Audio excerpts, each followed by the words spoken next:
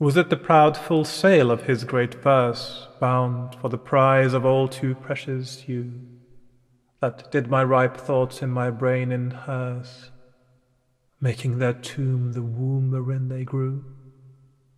Was it his spirit by spirits taught to write above a mortal pitch that struck me dead? No, neither he nor his compeers by night, giving him aid, my verse astonished he nor that affable familiar ghost which nightly gulls him with intelligence, as victors of my silence cannot boast, I was not sick of any fear from thence. But when your countenance filled up his line, then lacked I matter, that enfeebled mine.